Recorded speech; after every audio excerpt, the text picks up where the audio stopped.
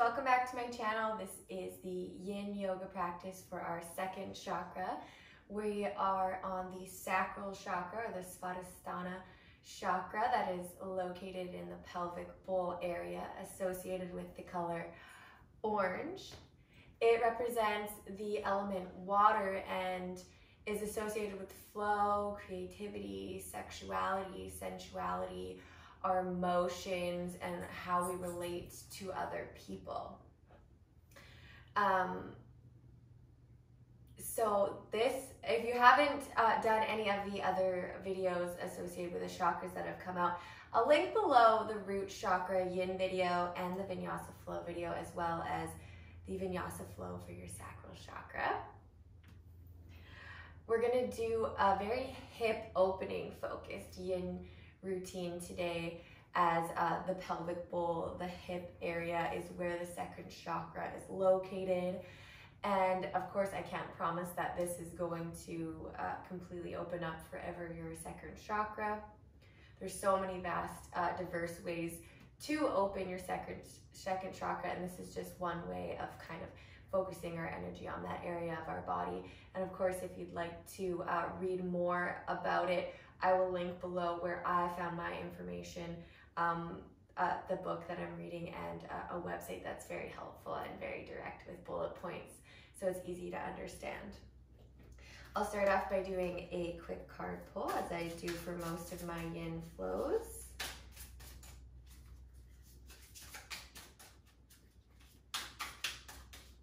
something that we can focus on uh, while we are in the poses.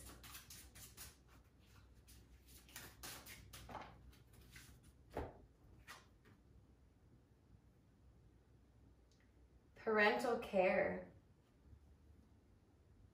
I got this from the Butterfly Oracle deck for life changes. So parental care actually has a big big influence on whether or not our second chakra, our sacral chakra, is blocked or overactive because during childhood, and I believe it's um, eight months, is when you start really developing um, aspects of your second chakra.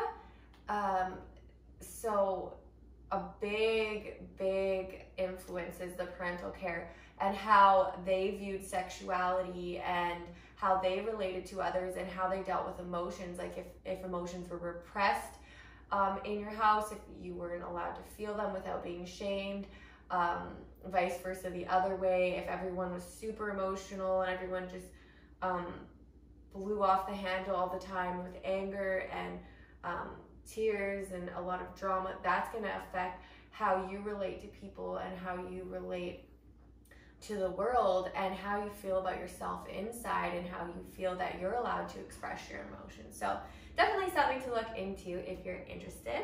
Um, other than that, let's start in wide-legged child's pose.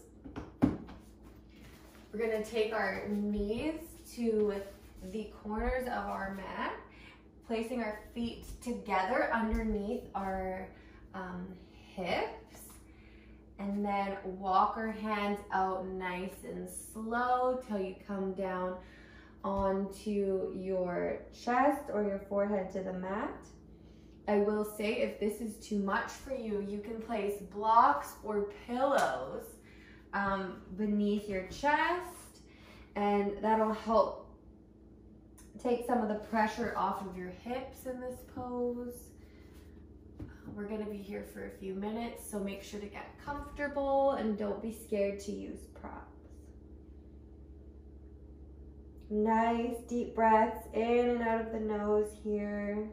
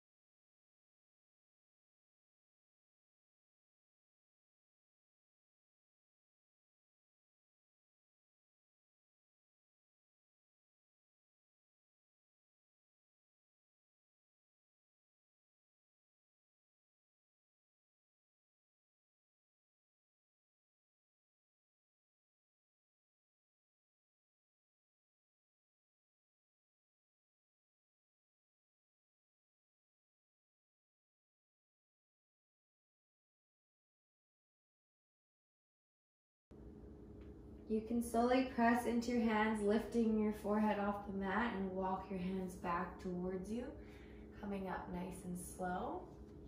We're gonna come up onto the knees. And then with care, take your right foot forward between the hands. Your feet should be about hip width distance apart. Coming to a 90 degree angle in the front knee. And uh, with the left leg straight out behind you, kind of sinking into the hips here. You can uh, use blocks to press you up further um, if sinking into the, the hips with your hands on the ground is just a little too intense for you. And you can play around with the different levels of the blocks. Um, if you don't have blocks, you can maybe use um, some, like stack up some books or use these things around the house that'll help lift you up a little bit. Otherwise, you can come onto your hands and then even to take that a step further, you could come onto your elbows. That'll really be up to you and the flexibility that's available to you. Remember, we are going to be in the position for a few minutes, so you want to um, not push yourself too far where it's going to be hurting and you're going to want to come out of it. And of course, if that does happen, where, where it gets too intense and I haven't pulled you out of the pose yet, just back off and lessen the intensity. Maybe start using the blocks or something if you're not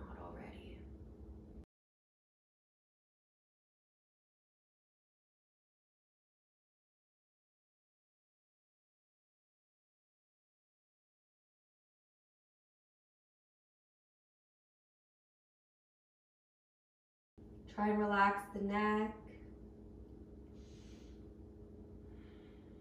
Let go of any tension in the legs. Just a minor amount of effort put into holding yourself up with your arms, letting go everywhere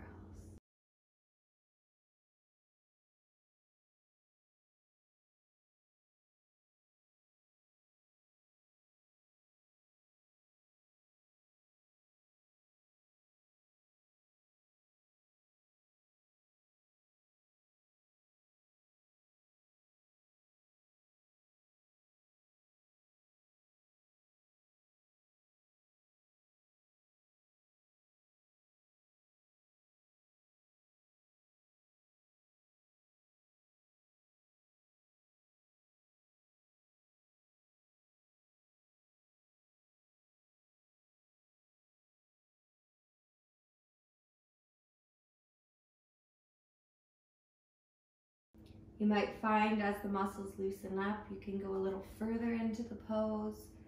Of course, that is optional.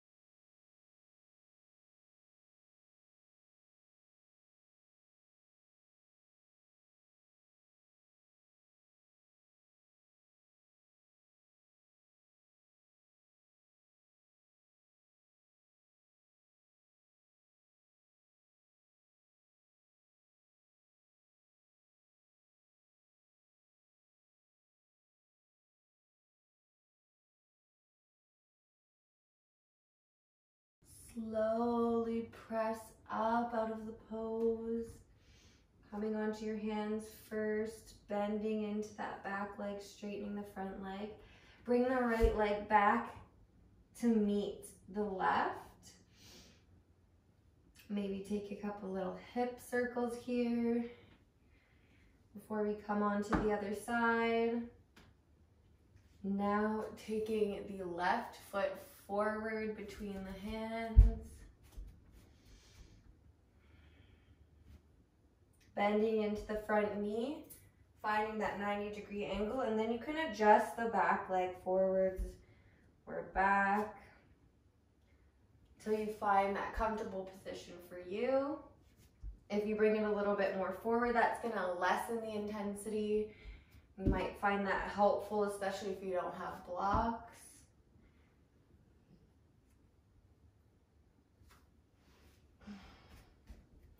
Remember, we're gonna be here for a couple minutes, so no rush. Start off um, at the top where you're not as low down, you're not as um, into the pose, and then slowly sink into the pose over a period of time. So you're not pushing yourself into the position before your muscles are stretched out. And release the engagement in the legs.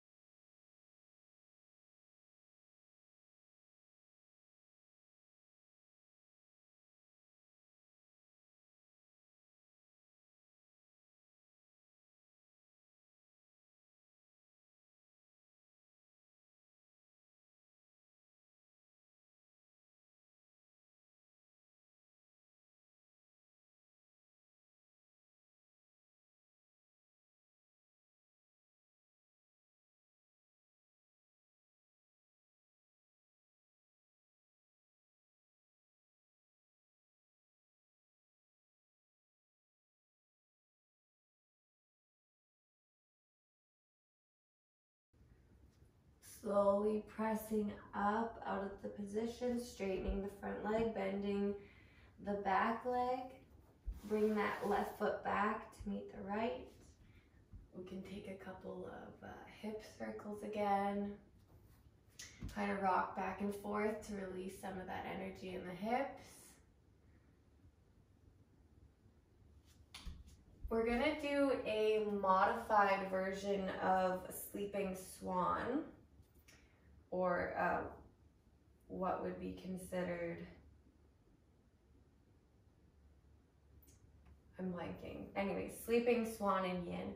So if you have sleeping swan in your practice and you want to take that, um, perfect. We're going to start on the right side first. Their uh, left leg straight out behind you, um, squaring the hips and releasing down.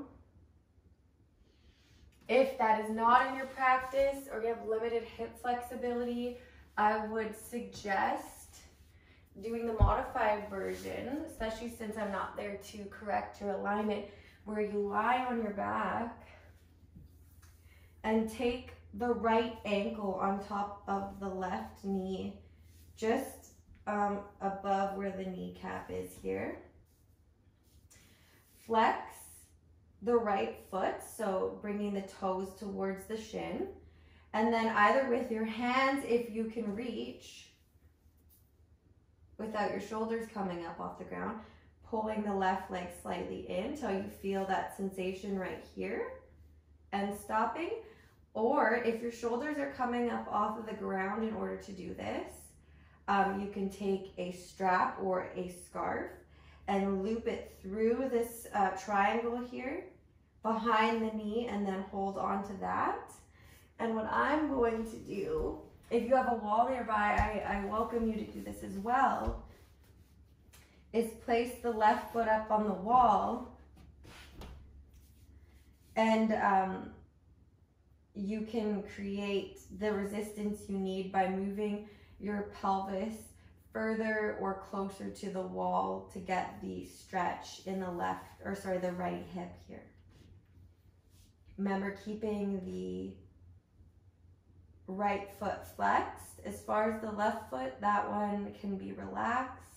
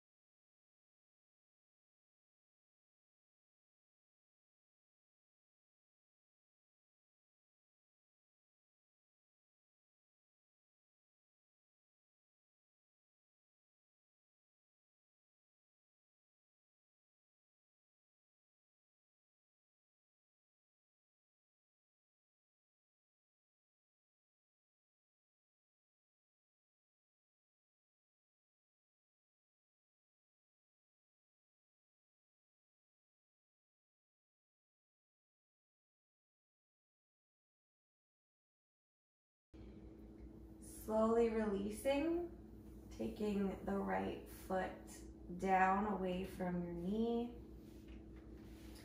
And then I'm just gonna show the full version of Sleeping Swan on the left side as well, but then I'll um, join anyone who wants to do the modified version. So coming onto your knees, if you're doing the full version, recommended if you have a greater hip flexibility, taking the left foot forward, dropping the shin down and the knee down, and bringing the right leg straight out behind you. Now the hips should be squared here, so they sh um, you shouldn't have the one hip full like up like this, or the other way around where your um, left hip is high off the ground. So you can move your foot in towards your groin, and that'll help you square the hips. Um, maybe without having to use a block. And if your uh, one hip is still high up off the ground, you can scooch a block or a pillow underneath that butt cheek to um, square the hips. Now, for the modified version, you have the option to lie down on your back on your mat. Take the left foot and the outside of the left ankle on top, right above the right kneecap. Flexing the left foot so the toes are coming towards the shin. Taking your hands one side on either side of the right leg and clasping behind the right knee. Um, of course, if your shoulders are coming up off the mat in order to reach, you can use a scarf or a rope or some sort of strap to hold your knee up. And if you do not have any props, and this is nice even if you do have them and you're and you have a wall nearby, you can place your right foot on the wall and either come forward towards the wall or push away from the wall slightly till you find um, the sweet spot for you and you'll feel the nice stretch in the left outer hip and the left butt cheek. Remembering to keep the left foot flexed here.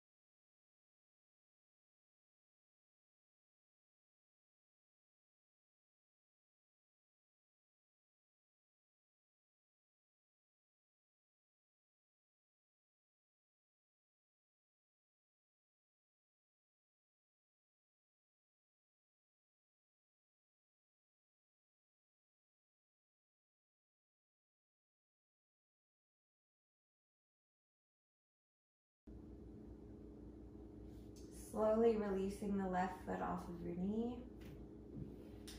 Or pushing, if you're in sleeping swan, pushing your hands up and swinging the right foot around to meet the left.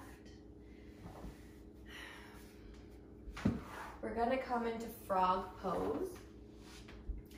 So if you have pillows nearby, I would suggest pausing and grabbing them unless you have blocks, or you can also roll up the edges of your mat. Just something to put underneath the inside of your knee so that it's not um, painful at all.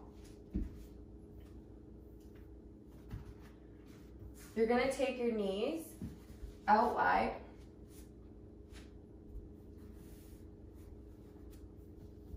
And have your lower limbs directly straight out. Like you can see, you're straight out from the knee. It should form a 90 degree angle. I'm just gonna use my blocks here.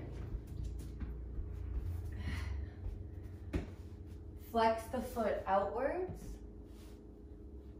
And then you can stay up on your hands to press the, the hips back towards the wall behind you.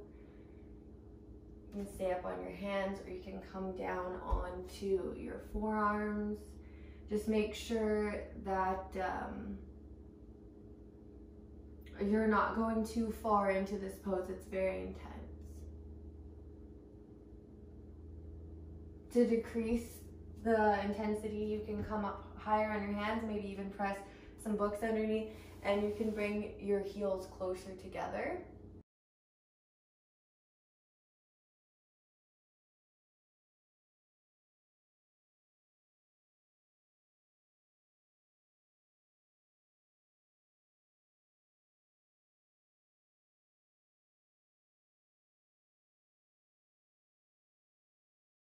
And if you have a bolster, just thinking about this, if you have a bolster um, to place underneath uh, lengthwise along your mat underneath your chest. And you can lay down on the bolster and relax your neck. That would be super juicy and super nice in this pose.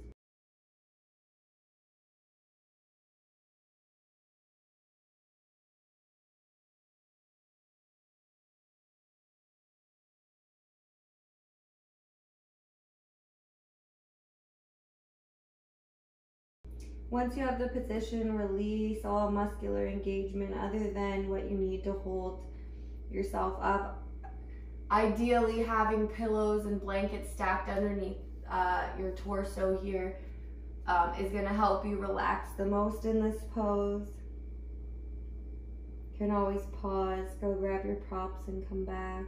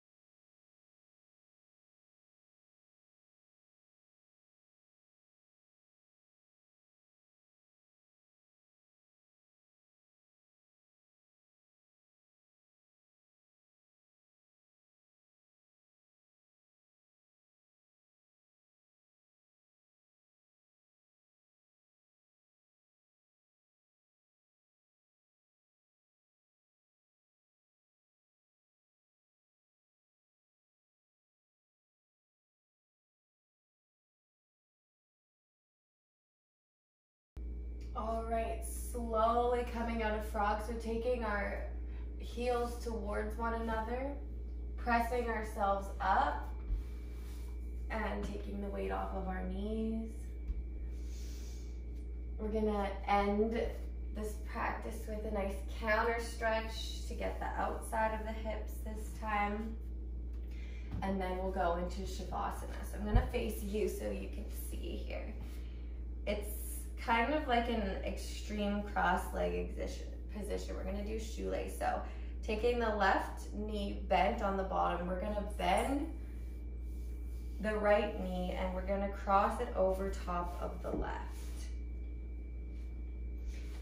As far as you can go. So if that means you're like this, that's perfectly fine. Just kind of get to that edge for yourself. And you should really feel this on the outer edge of your hip bones here. You can either stay just sitting here. Uh, I feel this is quite intense already.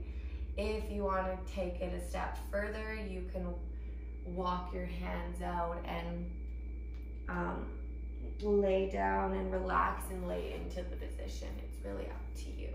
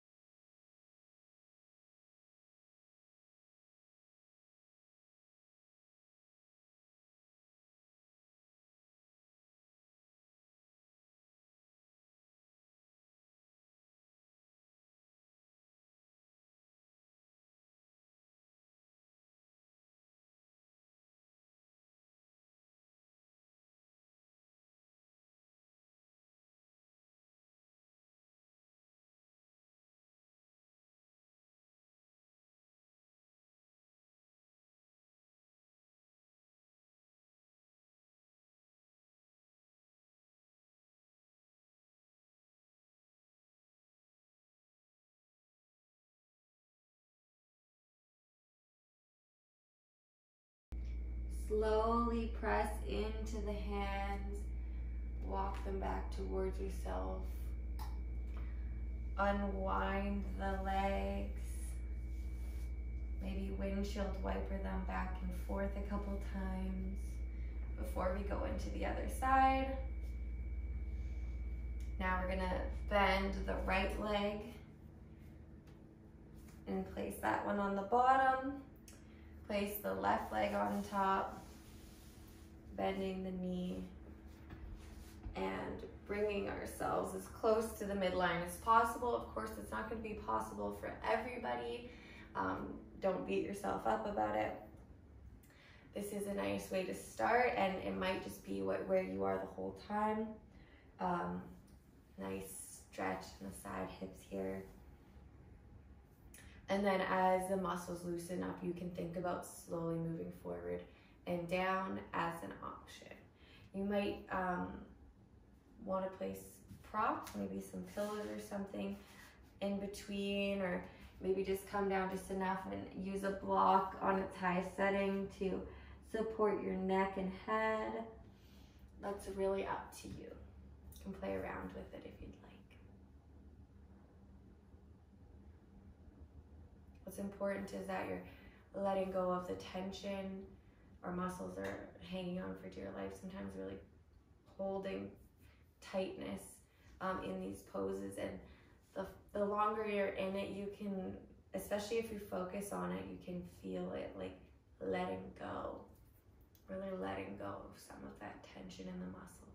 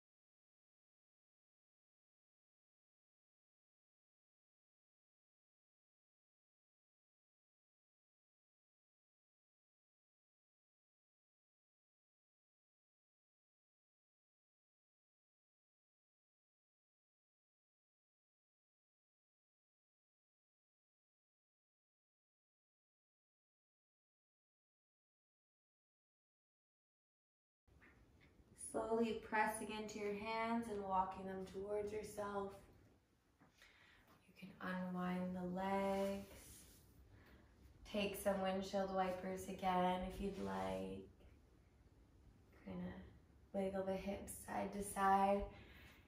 And we're going to end off in Shavasana. So you can slowly lower down onto your back with grace and ease. Take your legs out wide to the side, let them drop open. Let your arms fall open, palms facing the ceiling. Letting everything go here, relaxing And final rest, corpse pose, savasana. Close off the eyes.